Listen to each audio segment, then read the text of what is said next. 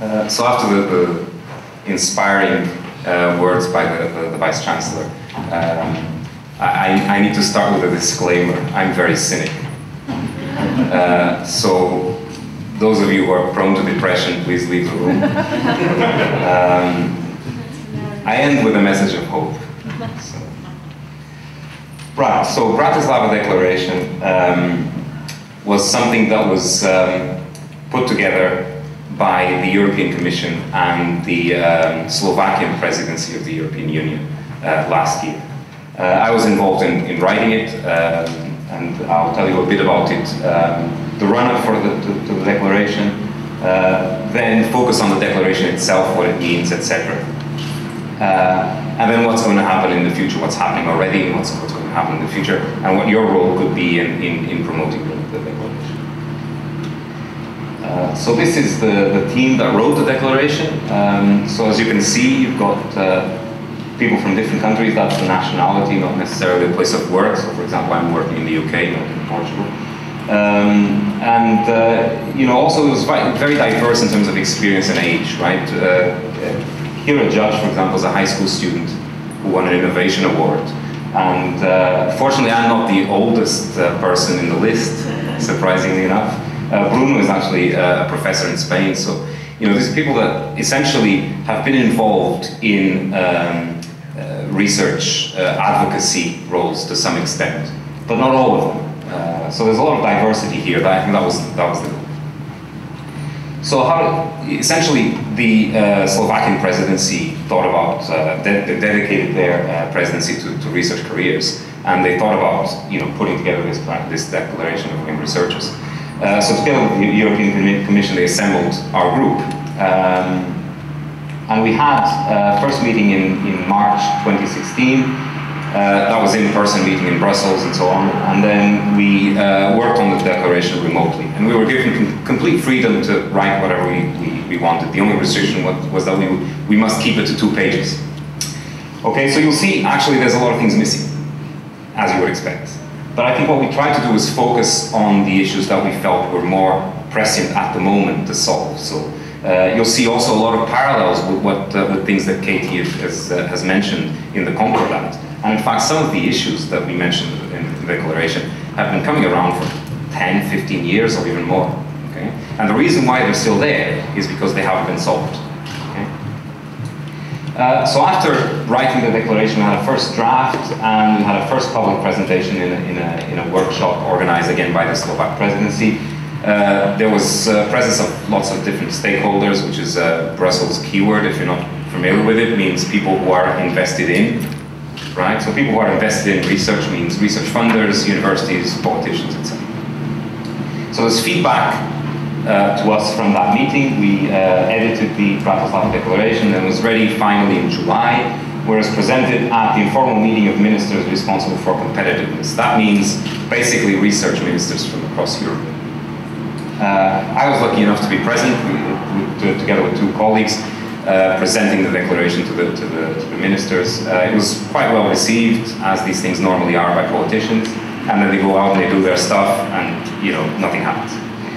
So, uh, interestingly, uh, the, the, whole point was that the Bratislava Declaration was appended to the Council conclusions of uh, November of, of, 2016. So the Council conclusions are uh, a bigger, chunkier policy document prepared by the, the Council of Ministers, uh, outlining actions in response to the Bratislava Declaration.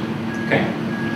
Uh, and so what I'm going to try to do within big, large part of my talk is contrast the two documents because I think, you know, when I, when I was putting together this talk, I actually started to look at the two documents and I thought, hmm, this is going to be really interesting because apart from anything uh, else, you get a, a, bit of a lesson in how politics works. Right? I certainly did. So, first of all, the Council conclusions is called Measures to Support Young Researchers, Raise the Attractiveness of Scientific Careers, and Foster Investment in Human Potential in Research and Development. So um, no economy, economy on words there. Uh, you can see uh, where this is going. Okay, so let's start with the declaration. So what we did was we essentially divided the declaration into four aspirations. Okay, so the idea was to be positive, not cynic like I am normally on a day-to-day -day basis, but actually think about what researchers aspire to. Okay, And within each of those four aspirations, we had some uh, sub-points, more concrete points that we wanted to, to, uh, to enhance. So the first aspiration is enabling great people and ideas. So enabling people to fulfill their curiosity and their ideas and their enthusiasm for research. Okay, so how do we do that? So one thing we suggested was think about funding. Okay, the vice chancellor mentioned funding, uh, and uh, we do have a system which works on some levels and fails tremendously on many other levels. And you know, we already started to discuss discuss some of them. But why do we have to be content with the funding schemes that we have? The funding? Why, why can't we question whether it is really serving research endeavor and the research community, community and, and young researchers in particular? So after thinking about this, we proposed radically reorganizing funding streams to trust and empower young researchers, enabling them to pursue their ideas. So the conclusion that we came, and was very much unanimous among the, the researcher uh, team, was that uh, we have currently an economically driven, impact-focused, bureaucratic system, and that's not compatible with uh, fresh ideas and fresh thinking, which normally uh, in, you know, uh, move researchers forward. Uh, so the response of the council conclusions is, is there, okay? And it's interesting to see the difference in language, if nothing else. So the council calls upon the member states to encourage the national funding agencies to consider analyzing if and how funding schemes can be improved. Right? I'll, I'll repeat that again in case you, you can get it. Encourage agencies to consider analyzing if and how funding schemes can be improved. That's a far cry from radically reorganizing funding streams, isn't it? It's not going to happen. Okay, next.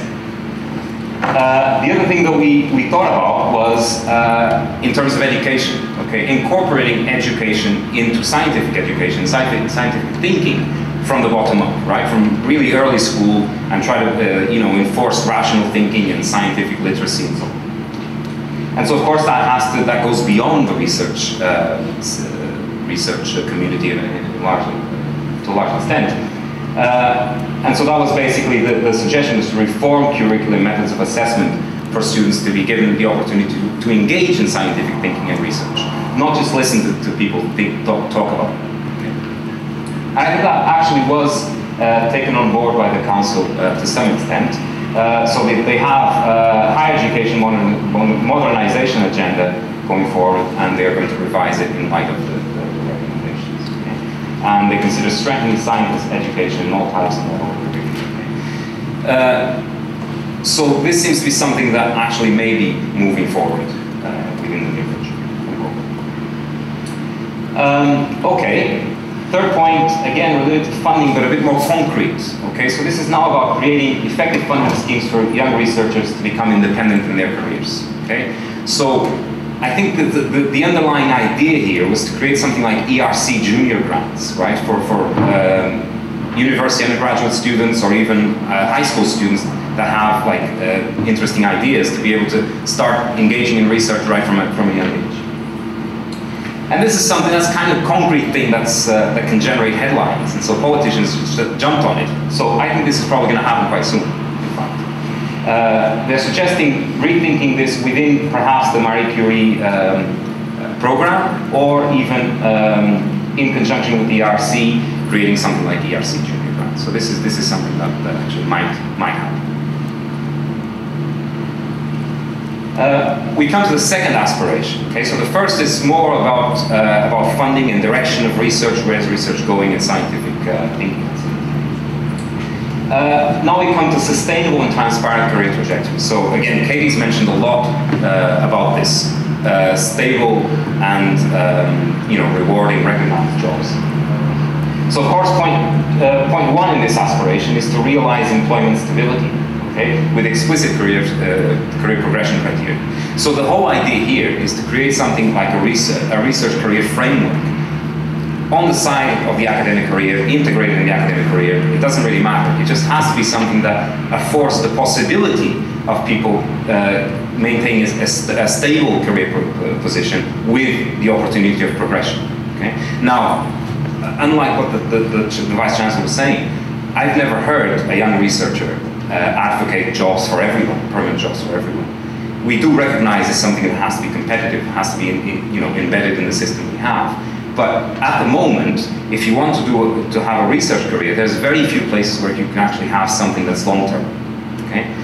In the UK, you have to go into the academic career, or in a very few number of cases, you go to, into, into an NGO or to, or, or, or a, um, you know, private research research institute. But these are very, very, very few opportunities, and we don't really have an integrated research career. So um, the Council uh, calls upon the Member States to consider establishing more permanent positions, blah, blah, blah. And then all of a sudden it's all, it's all, it becomes all about recruitment, okay, which is not the point. Okay, open recruitment is important, but we're talking about career stability and so on, going forward from that. Uh, but all of a sudden the language shifts to recruitment, and then all of a sudden down here you talk about training, career development. Okay. All of these things, don't get me wrong, these things are all important, but that was not the point. Okay, the point was that there are many, many countries, most countries, where there's not an opportunity for stable research careers. Okay, and that's not, not been answered. And which leads us to think that it's not going to happen very time, anytime soon. Uh, okay, this is similar but but uh, but different. Recruiting permanent staff researchers. Okay, again that has to do with the with creating more conditions for stable positions, uh, and also better better mechanisms for mobility between public and private sectors. Okay, now this is something that I think at the European level, at the very least, people are really uh, picking up on. Uh, and in fact, in the preamble of the Council conclusions, um, it is stated that uh, early stage career researchers need to be supported uh, and offer them attractive career development opportunities, including in intersectoral international mobility to front of the private sector. Okay? So this is something that actually I think is going to be picked up by, um, um, by politicians quite soon. Uh, however, this um, last statement is quite interesting calls upon early stage researchers to share responsibility in managing their own career paths, to be the ambassadors of transformation the scientific development brings to society, blah, blah, blah. Uh, so I think the idea here is to somehow try to shift the responsibility towards researchers of achieving this kind of thing. I mean, again, res researchers like Katie mentioned need to um, have responsibility for their own career, career developments, but if the framework is not there, there's very little that the researcher can do. Uh, 2.3 uh, is about training and career development. The UK, to a very large extent, is leading the way, has been leading the way in terms of career development of research staff. And a lot of the European countries, I think, are learning from that. And uh, in fact, there's um, there's very specific stuff about here about the new skills agenda for Europe, and so it is something that actually uh, European institutions are picking up on, and we're, we're, we're likely to see a lot of improvement in this area. So we're halfway there. We have third aspiration. Uh, that's about the research environment. Okay, so the first thing is that we proposed is supporting an EU-wide equality and diversity charter. So the idea was having something like an Athena Swan for Europe, but not only extending that to other underrepresented groups, ethnic minorities, disabled, etc. Okay, so having something more general uh, framework. Uh, and the response was, in, our, in my opinion, quite weak. Okay, uh, so they call upon member states to promote best practices and policies to seek to dismantle barriers to the advancement of women in research. So again, only gender is mentioned, that's the first thing, whereas we had in mind something much more broad. Uh, and it's just about promoting best practices and policies. That's a lot weaker than what we have already in the UK. Okay? So I think, I suspect there's some resistance here from some member states in enforcing these sort of uh, equality charters. So the jury's out on this one. I think it's a quite, quite a powerful message. Uh, and and countries like the UK are actually putting some pressure, or were, before Brexit, putting some pressure on the European institutions to move forward on this. Uh, so we don't know exactly what this is. Uh, empowering researchers to act on ideas that span traditional disciplines. So this is about multidisciplinarity, okay? But it's not only about writing on paper that, you know, multidisciplinary proposals are encouraged, right? That's pointless. It's about rethinking the way uh, academia and research uh, environment, the research funding environment is structured in order to actually enable multidisciplinary science to take place. And the response was absent. Okay? I scoured the document, there was absolutely no mention of multidisciplinary research or anything about, about restructuring the way uh, are organized. Uh, point three, develop policies that enforce free sharing of data and ideas. Katie mentioned that, open access publications. Again, the UK is major driving force in this in this sense. Um, you know, I think we all you all know about this, the enforcement of research uh, of UK funders to promote open open science, uh, but also ethical behavior. Okay, identification of individual contributions, post-publication peer review, is a series of measures that we can we can think about to promote uh, ethical and uh, eth ethical research and research integrity. And I was very, very happy to see uh, from Katie's results of the survey that a lot more young researchers are becoming interested in receiving training in ethics and integrity. Because we, we strongly believe this, is this has to be a major part of, of the future of research partly because of the massification. You have so many people working on research, so many papers. It really becomes very hard for um, you know self-regulation to take place. Okay, so we need to have some more structures in place. And guess what the answer was? Oops, nothing. Okay, so uh, again, I think this is something that has to be pushed forward quite strongly. Uh, we come to the fourth and last aspiration. Okay, work-life balance. Now we think that, uh, and you all probably share that idea, that if you don't have uh, a satisfactory life in general, you won't be able to do good research. You'll be worried about other things. So we have to see the system as a whole, okay? And support people in all aspects of life. Uh, so we touched upon a few examples, right? This is again not exhaustive. There's again a lot, lot of things that are missing. For example, we didn't touch on pensions, okay? Uh, and the reason was, it was very strategic, the reason was the European Commission is already promoting the, the, the uh, EU-wide pension scheme that they've put, put together, Resaver. If you don't know about it, check it out. Uh, it's by no means perfect, but it's a very, very important step, step forward in, in uh, allowing people to have movable pensions if they move countries. So we didn't mention it because it's already being picked up. Uh, what's not really been, being picked up is uh, universal childcare provisions, parental care, flex flexible working practices, dual career opportunities, etc. So there are no real, there, there's, there's pockets, uh, particular institutions, particular regions that actually put in place these measures, but it's by no means across the board. Um, the only thing I could find related to this was uh, encouraging universities to give more freedom to early stage researchers with the aim of finding a better balance between research and teaching work. okay, uh, maybe that wasn't in response to this point, I'm not sure, but I couldn't find anything else and that was the best I could do. So you can see the, the divergence between the, the politicians' uh, point of view and the, the, that of the people who are actually on the. Uh, facilitate and equally reward diverse forms of mobility. Um, this is mainly with a, with a wider view uh, to see that not every researcher can be physically mobile. Okay, there are family restrictions that people experience, other forms of restriction. And so we, we think that actually mobility should not be restricted to physical mobility. And in fact, at the EU level, people have been talking about this for, for a while. So unsurprisingly, uh, this, this is, you know, the response is almost, uh, almost verbatim what we had, what we had before. So, so this is something that uh, is moving forward. Uh, okay, so that was the declaration. Okay, that was the response of the council. So what, what's happening, uh, what happened after the declaration? So we created a petition which you, you can sign, that's the link. It didn't really pick up a lot of momentum. We have about 600 uh, signatures. I don't really know why, but you can help by signing that if you want. Uh, we've done a few public presentations uh, like mine, hopefully better because I didn't do that many. Some of my colleagues did, did some, so they're, they're a bit more articulate. Um, and this is a very important point. There's an ongoing consultation at the EU level to shape the next framework program. So Horizon 2020 is coming to an end in 2020, as you expect. And they're already thinking about the, the next framework program. Okay? So there's an online, uh, an online, an ongoing consultation by the European.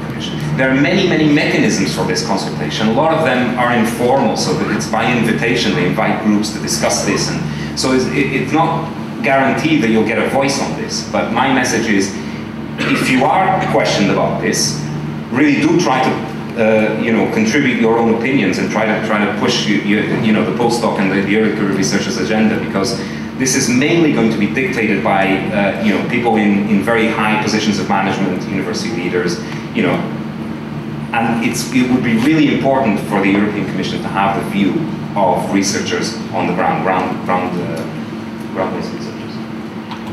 Uh, in preparation for that, we conducted a, a, a, survey in, collaboration with some other uh, organizations.